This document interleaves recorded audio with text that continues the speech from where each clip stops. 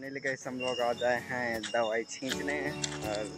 video पे बने रहें